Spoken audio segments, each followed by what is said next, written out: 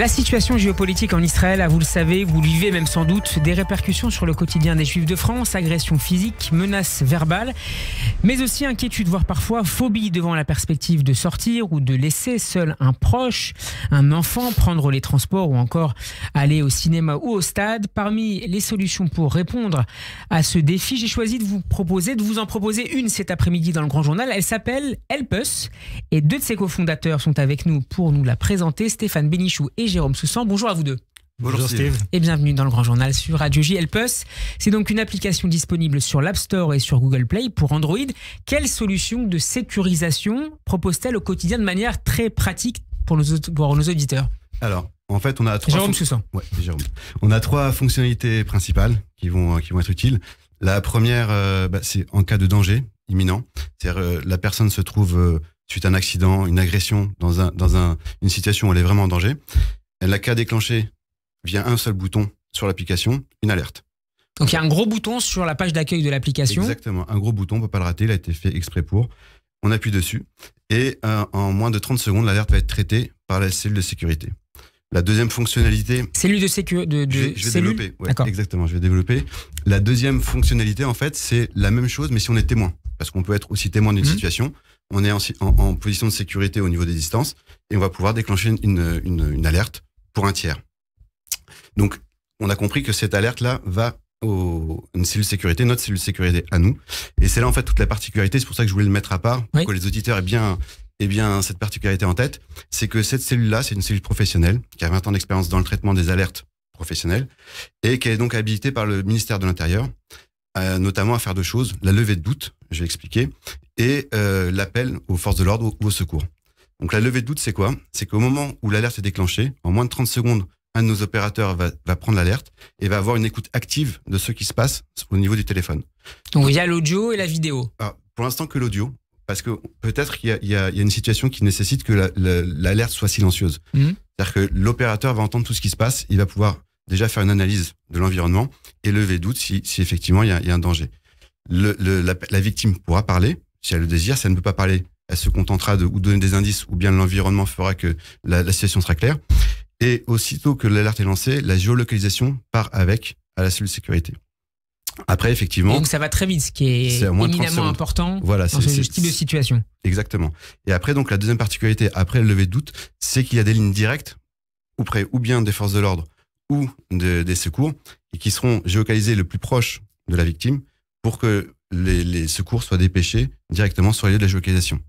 Stéphane Ménichou, en quoi c'est particulièrement innovant? J'imagine que l'offre en termes de sécurisation, notamment via les tech, est, est de plus en plus riche. Qu'est-ce que vous apportez de plus sur le marché dans cette période évidemment d'inquiétude de plus en plus forte? Bah Effectivement, c'est une solution qui n'existe pas. Euh, Aujourd'hui, toutes les solutions qui existent sont euh, que des, des, solutions qui permettent d'informer un proche. Mmh. Et là, effectivement, un proche qui va venir secourir quelqu'un qui est en danger. Ça peut déjà être trop tard. Voilà. Et ça pose des problèmes surtout de, ils sont pas habilités pour, ils ont pas, ils, ont, ils sont pas formés pour ça. Et donc nous, la particularité, c'est vraiment qu'on envoie les forces de l'ordre avec ce lien de géolocalisation. Donc ils sont guidés tout, sur toute la durée du, du trajet jusqu'à la victime. En termes de coût, ça fonctionne sur le principe euh, d'abonnement? C'est un abonnement, c'est un abonnement qui est à 3,99€ par mois. On a vraiment. C'est modique. Ouais, on a fait le, le, on voulait que ce soit inclusif, c'est-à-dire qu'on puisse, que tout le monde puisse y avoir accès. Euh, voilà, donc ça c'est effectivement. Pour peut-être même créer une, une communauté de. C'est le but. C'est le but de créer une, une, communauté, de pouvoir animer. Mais j'ai pas parlé de la troisième fonctionnalité. Ah. Allez-y, j'ai laissé de, la, de côté exprès parce que c'est peut-être celle qu'on va utiliser le plus. On l'utilise tous les jours à titre personnel. C'est par exemple, mon enfant va sur son trajet d'école tout seul, ou mon, ma, ma compagne ou mon ami et il me demande une veille. Donc lui-même, parce que c'est un acte volontaire, va déclencher un, un, le bouton veille. Et à ce moment-là, moi, puisqu'il m'a choisi comme veilleur, plus d'autres personnes qui pourraient avoir choisi comme veilleur, mmh. va recevoir la géolocalisation en temps, en temps, en temps réel. Et je peux vérifier que le trajet est conforme à ce qui était, à ce qui était prévu. Donc simplement la géolocalisation, pas l'activation la, la, de l'audio pour euh, cette troisième partie. Voilà, exactement.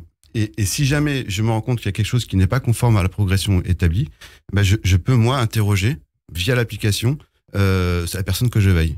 Elle me répond que ça va avec un. Est-ce que je peux alerter moi-même euh, la cellule si, si, jamais ça ne va pas euh, et que j'ai fait des vérifications que ça ne va pas, je peux moi alerter la cellule et à ce moment-là, c'est la géocalisation de la victime et l'environnement de la victime qui va être analysé par la cellule. Et donc, si des secours sont, doivent être envoyés, ou des forces de l'ordre, ce sera vers la victime puisque c'est sa géolocalisation à lui qui va être, euh, qui va être transférée. C'est très clair. Stéphane Bénichou, hier, Elisabeth Borne a annoncé, euh, la Première ministre, que, qu'elle voulait généraliser euh, les boutons d'appel d'urgence dans les écoles face à la menace terroriste.